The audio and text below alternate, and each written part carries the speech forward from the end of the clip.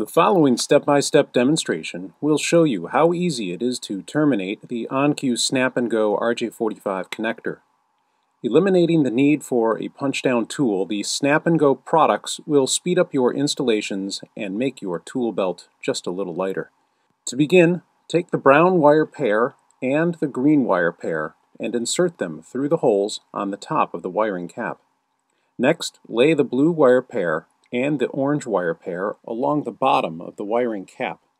Use the diagram on the sides of the wiring cap to split the wires and insert them into the correct positions on the wiring cap using your fingernail.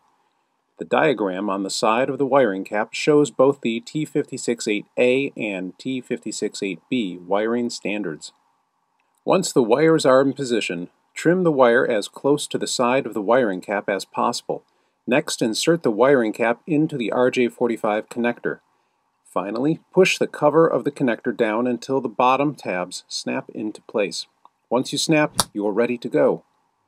To learn more about the Snap & Go products or any other On-Q connectivity products, check out OnQLegrand.com.